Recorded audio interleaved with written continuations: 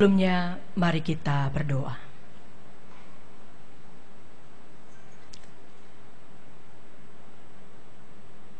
Engkau sang terang dunia, menerangi jiwa kami yang telah engkau selamatkan, ya Bapa. Dalam terang surgawi itulah, bersama dengan sang ilahi, kiranya kami sungguh diterangi roh batin dan jiwa kami. Sehingga apa yang bersumber dari dalam Tuhan terus akan kami nampakkan dalam hidup beriman kami. Menghasilkan satu pilihan dalam ketaatan yang seturut dan sesuai dengan kehendakmu, ya Tuhan. Yang melaluinya dalam kekuatan yang kau anugerahkan itu, kami terus dimampukan untuk bertanggung jawab atas pilihan yang boleh kami ambil dan semuanya Tuhan sungguh menyenangkan hatimu, memuliakan dirimu dalam hidup yang berlaku. Firmanmu Tuhan akan menjadi sumber segala. Kan itu Tuhan tolong hambamu yang menyampaikan dan kami semua yang mendengarkan Kiranya dalam kekuatan rohmu yang kudus sesuai dengan apa yang Tuhan inginkan. Dalam Tuhan kami, Yesus Kristus, kami mohonkan doa kami ini. Amin. Kejadian 2 ayat 15 sampai dengan ayat yang ke-17 dan pasalnya yang ketiga ayat yang pertama sampai dengan ayat yang ketujuh.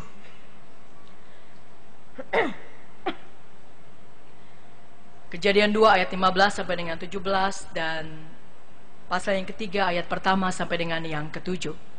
Demikian firman Tuhan. Tuhan Allah mengambil manusia itu dan menempatkannya dalam Taman Eden untuk mengusahakan dan memelihara taman itu. Lalu Tuhan Allah memberi perintah ini kepada manusia. Semua pohon dalam taman ini boleh kau makan buahnya dengan bebas.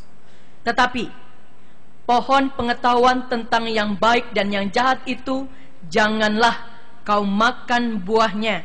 Sebab pada hari engkau memakannya pastilah engkau mati. Pasal yang ketiga, ayat pertama sampai dengan yang ketujuh manusia jatuh ke dalam dosa. Adapun ular ialah yang paling cerdik dari segala binatang di darat yang dijadikan oleh Tuhan Allah. Ular itu berkata kepada perempuan itu, "Tentulah Allah berfirman, semua pohon dalam taman ini jangan kamu makan buahnya, bukan?" Lalu sahut perempuan itu kepada ular itu, "Buah pohon-pohonan dalam taman ini boleh kami makan." Tetapi tentang buah pohon yang ada di tengah-tengah taman, Allah berfirman, Jangan kamu makan ataupun raba buah itu, nanti kamu mati. Tetapi ular itu berkata kepada perempuan itu, Sekali-kali kamu tidak akan mati. Tetapi Allah mengetahui bahwa pada waktu kamu memakannya, matamu akan terbuka dan kamu akan menjadi seperti Allah tahu tentang yang baik dan yang jahat. Perempuan itu melihat bahwa buah pohon itu baik untuk dimakan dan sedap kelihatannya. Lagi pula, pohon itu menarik hati karena memberi pengertian. Lalu, ia mengambil dari buahnya dan dimakannya dan diberikannya juga kepada suaminya yang bersama-sama dengan dia dan suaminya pun memakannya. Maka terbukalah mata mereka berdua dan mereka tahu bahwa mereka telanjang. Lalu mereka menyemat daun pohon ara dan membuat cawat. Berbahagialah orang yang memberi telinga dan hati dan yang melakukan sabda Tuhan Hosiana.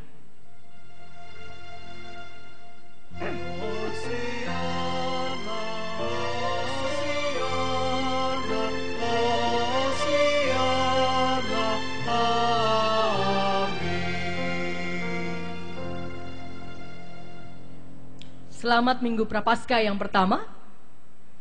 Wah, kepanjangan ya Bapak Ibu ya. Selamat hari Minggu. Nah, jawabannya langsung. selamat hari Minggu. Raja Salman, siapa yang diundang bertemu dengan Raja Salman, Bapak Ibu? Wah, ada yang menunjuk di sebelah kiri sana. Raja Salman yang menjadi trending topik sebelum kedatangannya tiba ke Indonesia sangat menjadi fenomenal. Lihat eskalatornya. Jadi waktu kemarin saya pergi keluar kota dan agak terengah-engah naik eskalator, eh, naik tangga jalan, ada yang bilang, "Bu, lain kali bawa eskalator sendiri." Rupanya mengingatkan tentang Raja Salman yang khusus membawa eskalatornya sendiri ya. Bapak Ibu yang terkasih, ketika Raja Salman juga hadir dan tentunya mengundang 28 tokoh umat agama-agama ya 28 tokoh agama dan beliau hadir dengan pesan yang sungguh luar biasa. Apa itu pesannya? Dikatakan oleh Raja Salman ada dua bagian. Kita hendaknya bekerja sama untuk terus menjalin komunikasi dengan dialog di antara umat beragama agar dapat memperkuat nilai-nilai toleransi kata Raja Salman dalam pertemuan dengan 28 tokoh agama tersebut. Dan ditambahkan, semua agama berusaha untuk menjaga hak-hak manusia dan kebahagiaan mereka. Karenanya penting untuk memerangi radikalisme dan ekstremisme yang ada Demikian tambah Raja Salman dalam kata sambutannya. Bagian ini, Bapak Ibu terkasih, rupanya memberikan kesan tersendiri. Apakah bagi saya secara pribadi, apakah bagi Bapak Ibu yang terkasih juga sebagai secara pribadi? Sebagai raja, dia punya kuasa. Sebagai raja, dia bisa memilih untuk tidak bersikap seperti itu. Tapi dia memilih dengan pandangan apa yang dihayati dalam hidup keagamanya. Dan sesungguhnya saudaraku ketika orang menghayati hidup keagamanya demikian, maka sungguh dia bisa punya pandangan yang demikian. Sekalipun dia seorang raja.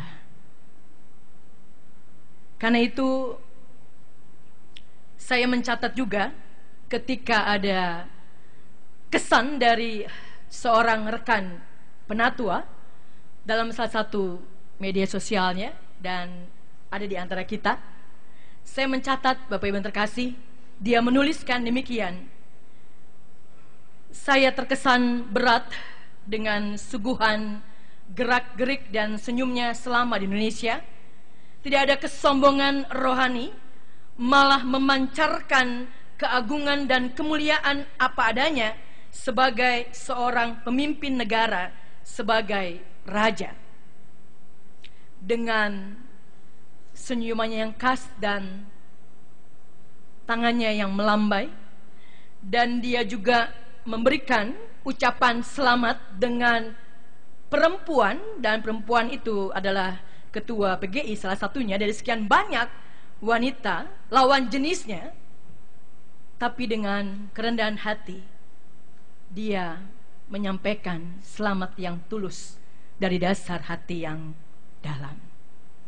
Bapak Ibu terkasih saudara sekalian, ini yang sungguh-sungguh kalau kita hayati, kalau kita boleh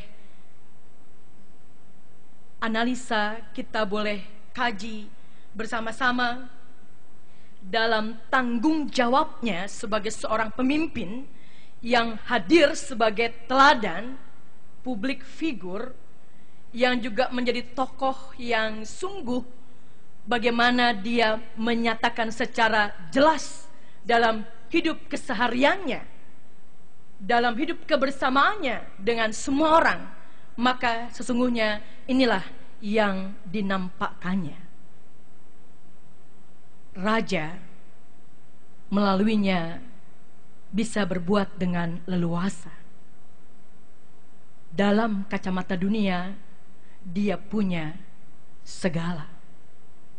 Tentunya ini yang menjadi pembelajaran berharga di tengah-tengah kehidupan bangsa negara Indonesia yang sering kali menjadikan kuasa, yang sering kali menjadikan status yang dilekatkan oleh siapa pun juga pada dirinya, yang melaluinya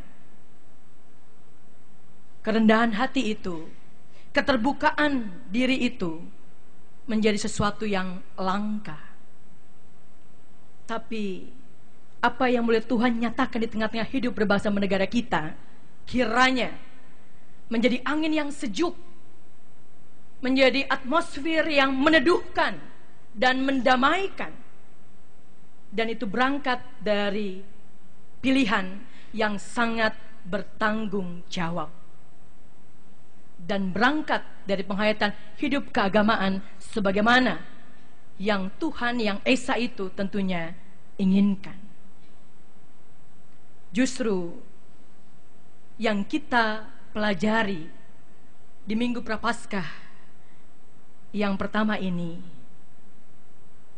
kita sama-sama bisa merasakan tidak mudah orang sampai pada pilihan yang seperti itu Apalagi ketika begitu banyak simbol-simbol status apa pun yang dikenakan oleh dunia dalam dirinya. Tapi ketika seseorang mampu memilih dan sadar bahwa apa yang dia pilihnya itu menjadi tanggung jawab, maka sungguh orang itu mau menyatakan hanya dekat dengan Allah lah, hanya dekat dengan Tuhanlah pilihan itu sungguh bisa aku ambil. Dan itu bukan memuliakan diri manusia, tapi memuliakan Tuhan yang disembah, yang diimani dan diikutinya. Ini yang tidak terjadi dalam diri seorang Adam dan Hawa. Justru di satu sisi kita bisa melihat keginian yang seperti itu yang mungkin pada zaman sekarang menjadi barang yang langka, tapi di sisi lain kita juga belajar bahwa sejak dari dulunya manusia tidak mudah bisa sampai pada pilihan yang demikian. Karena ketika sudah ada kuasa diberikan oleh Tuhan kepada mereka dalam ayat yang 15 dikatakan Tuhan Allah mengambil manusia itu dan menempatkannya dalam Taman Eden untuk untuk ini mandat, ini kuasa, ini kepercayaan mengusahakan dan memelihara taman itu. Semua pohon dalam taman ini boleh kamu makan buahnya dengan bebas.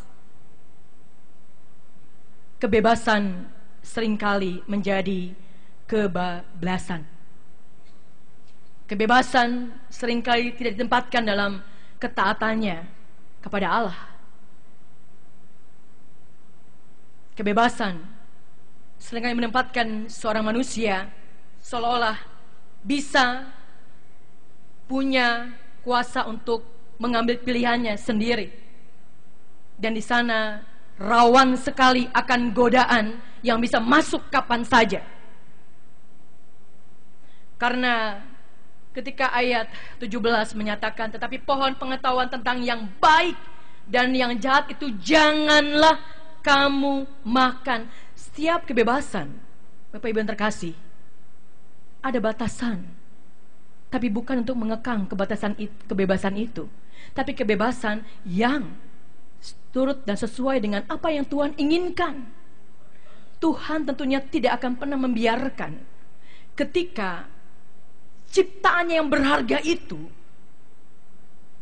kebebasan dalam meletakkan kebebasannya yang akan menjatuhkan diri diri mereka yang akan membuat mereka terpisah dari dia Allah, Bapak Ibu yang terkasih, dalam kasihnya yang tidak pernah berubah, maunya selalu dekat dengan manusia ciptaannya itu. Tapi persoalannya apakah manusianya mau selalu dekat dengan dirinya? Dan untuk dekat dengan dirinya yang tak berdosa itu, karena dia tak tersentuh oleh dosa, tentunya sebagai manusia belajar untuk tidak jatuh dalam dosa.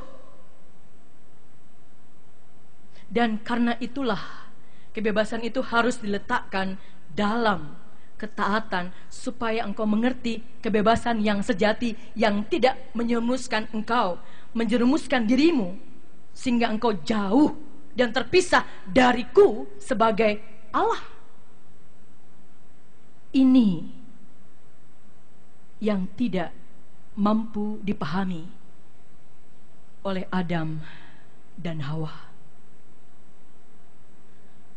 Karena pasal yang ketiga mencatat manusia jatuh ke dalam dosa. Allah sudah memagari Allah sudah membatasi dalam kasih karunia-Nya. Dalam kasihnya supaya engkau tidak jauh di taman yang sudah aku percayakan kepadamu. Engkau tinggal menikmati. Tapi manusia memilih tidak mau dekat dengan Allah. Dan memilih menerima sebuah resiko yang akhirnya harus diterima.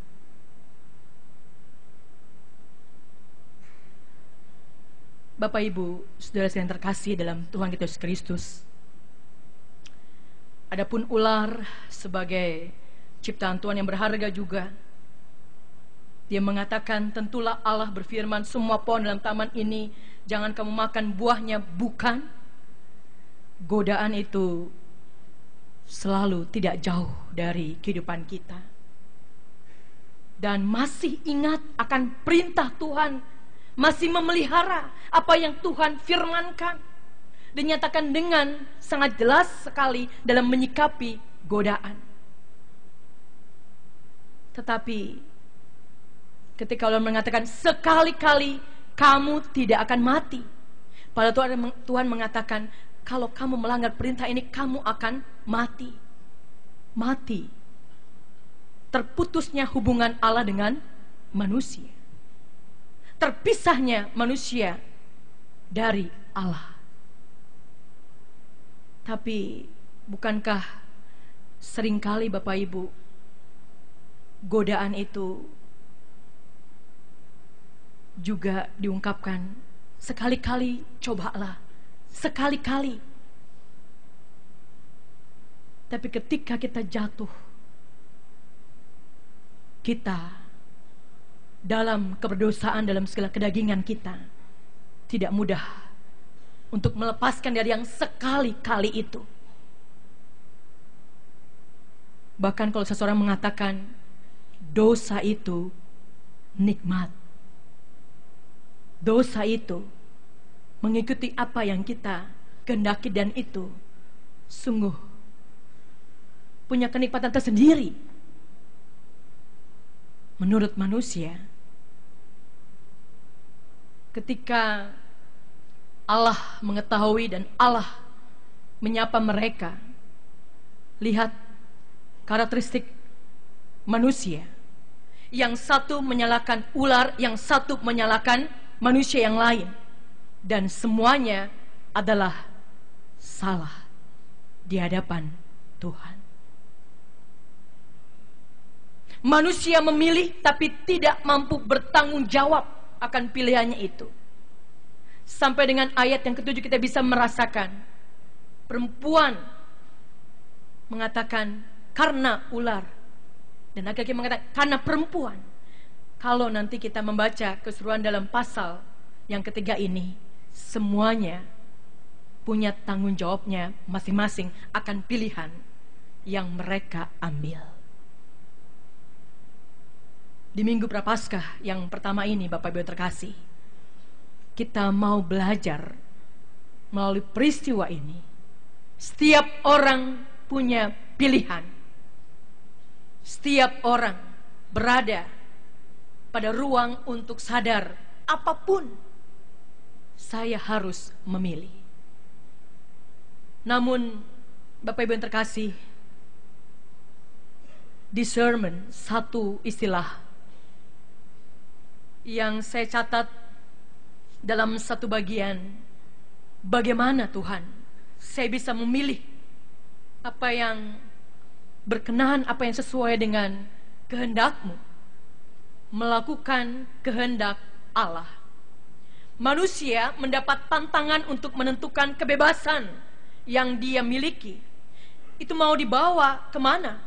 Bukankah dengan kebebasan ini manusia mengenal batas, sadar kelemahannya sekaligus kekuatannya dan bakatnya apa pun. Otonomi yang dia genggam dalam tangan itu mau disalurkan ke mana?